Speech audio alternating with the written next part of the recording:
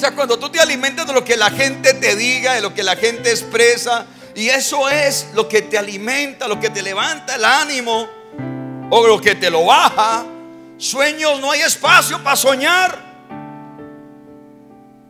Y por eso, porque estás muy despistado, ¿ves?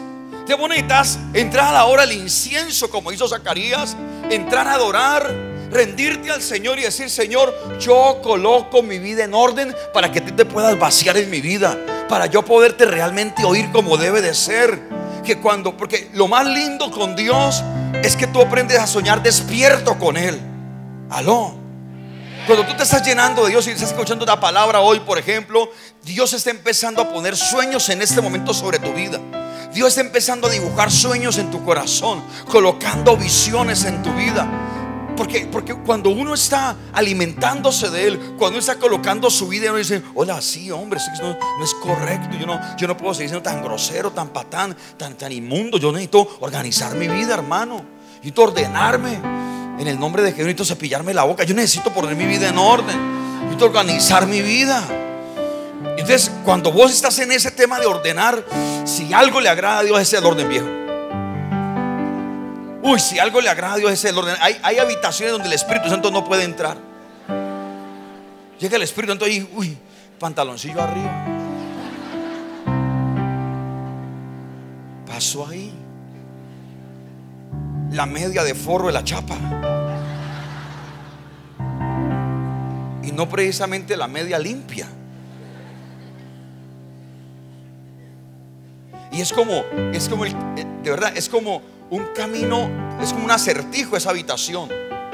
Usted para encontrar a sus dichos tiene que seguir el pantalón tirado, la camisa tirada, el blue tirado, la camisa tirada. Ahí llegó, ahí estaba.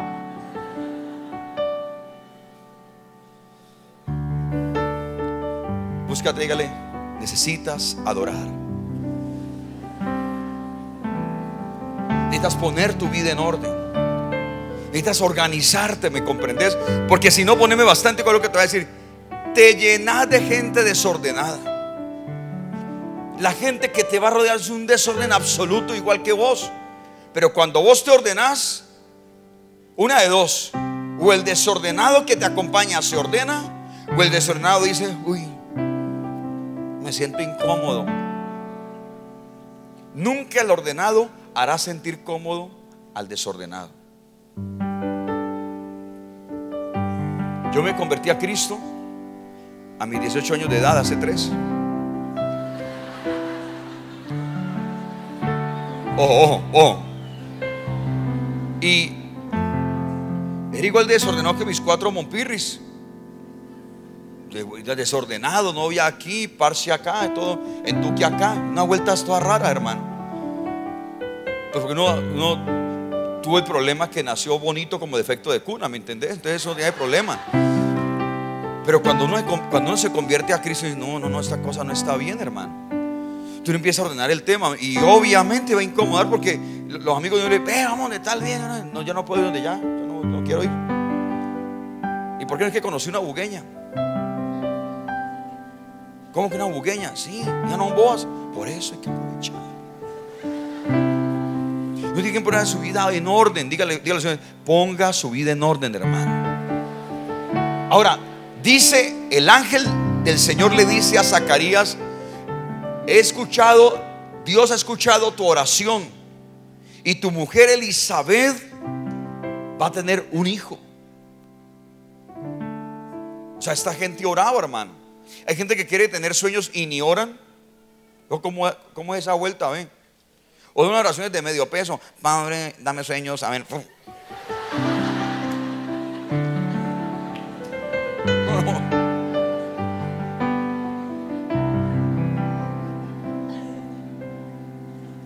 orar, orar no es decir cosas con los, ojos, con los ojos cerrados simplemente. Porque la gente piensa que orar es cerrar los ojos y decir tres cosas y ya.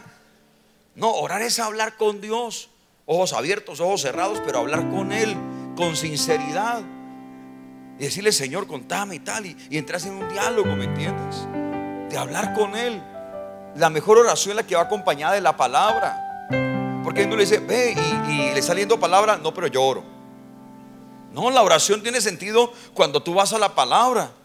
La oración es un todo, es, es comunión con la palabra que Él me da, comunión con la palabra que yo le doy. Orar es eso, es, es un diálogo. Me como sus palabras, me alimento sus palabras y les cuento las mías. Y uno empieza ahí a tener una, relación. Entonces uno, Señor, muéstrame qué debo hacer. Lees la palabra. Uy, mira lo que yo le estaba preguntando al Señor, tremendo. Y, esa es la oración dinámica, ¿me comprendes? No es la oración de hernia. Padre, ayúdame.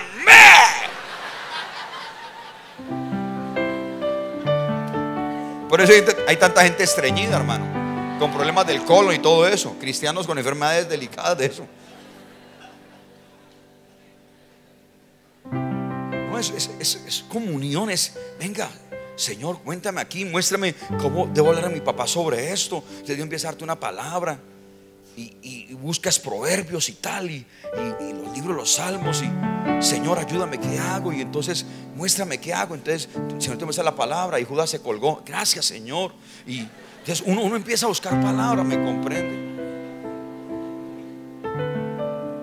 Y en ese ambiente, en ese ambiente es que usted recibe sueños y visiones. Estás en la casa de Dios, en medio de la alabanza, estás metido con Dios. Eso es parte de la adoración, eso es parte de la oración. Pero estás en la alabanza, hermano. Dios quiere revelarte un sueño y estás todo despistado.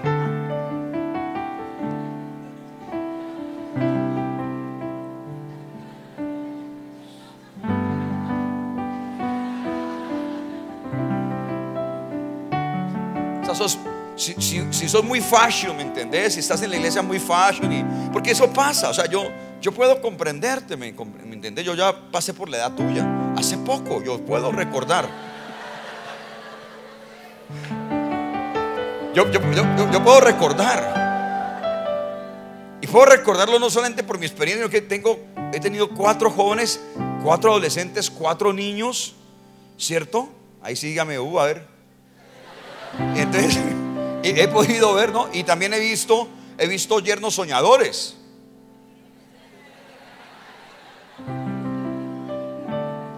Entonces, yo he tenido un contacto allí permanente viendo qué es lo que pasa, me comprende. Y yo sé que, cuando uno está ahí creciendo, entonces para uno es importante ser aceptado y para uno es importante que, la gente lo quiera a uno y para uno es importante saber si, si, si el nuevo look pega o no pega y entonces el chupado de mango, no, ¿sí? ¿no?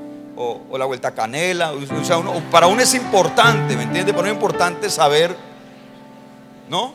Que, el moño aquí, que la moña acá, ¿sí? Eh, que, el, peinado trifásico, ¿cierto? Que si, el trifásico, porque hay, hay, hay jovencitas de otros lugares que se peinan de una manera que usted las mira por un lado y dice, ay, es una persona. las mira por otro, ay, era otra. El trifásico, ¿me comprende? Pero sabes una cosa, vos que sos, vos que tenés la oportunidad que no tienen otros de venir a la casa de Dios, tenés que sacarle provecho a la casa de Dios. Porque en la casa de Dios uno supera el trifásico. Uno, uno, va por encima de eso. O sea, chévere. O sea, uno, obviamente, no sabe uno una rana pues a la iglesia. No, no, uno. O sea, uno, claro, y, está bien no estar bonito y bonito y toda la cosa y chévere. ¿Me entiendes? No uñas todas sucias, llenas de tierra que va a sembrar yuca y papa allí. No, no, no. ¿Me entiendes? Ni tampoco las uñas como pato, todas salidas así, vuelta campana y tal. No, no, no, no quiere, no, ¿cierto? Y está bien. Pero eso no te va a definir tus sueños y tus metas. Eso es algo cosmético. Pero en Dios es algo mucho más profundo, mucho más digno cuando usted tiene relación con Dios, se arma esa atmósfera donde el Espíritu Santo se basea en tu vida y te da sueños y visiones.